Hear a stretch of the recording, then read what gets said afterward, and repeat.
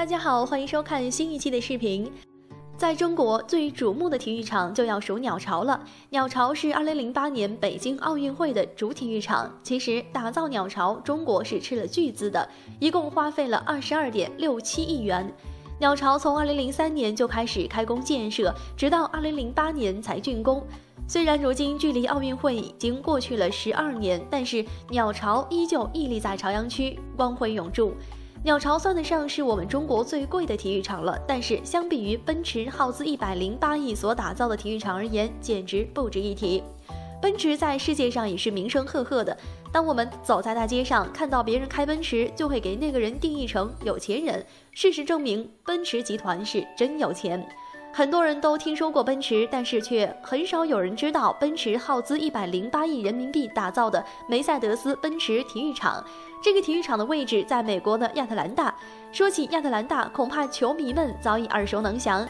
亚特兰大是猎鹰橄榄球队的故乡，而奔驰正是有着对于这个球队的特殊情怀，因此用猎鹰做灵感，把体育场打造成了一只鹰的形象。这座体育场不管从外观还是内在来看，都与鹰有着丝丝缕缕的联系。俯视看着，体育场就像是一只展翅待飞的雄鹰，气势磅礴。在体育馆外还立着一只重达三十六吨的鹰形雕塑，让来到这里的人还未入馆，但无比震撼。最让人震惊的还要数体育馆内部，体育场的场地是十分灵活的，可以根据比赛的类型来调整自身的形态，而且还可以调控赛场的座位，能更加的满足观众的需求。最有意思的还要数体育馆的屋顶了，屋顶是可以伸缩的，一共有八块，八分钟就可以由露天体育场调节到室内体育场，非常灵活有趣。这么有意思的体育场，大家有没有想要去体验一番的冲动呢？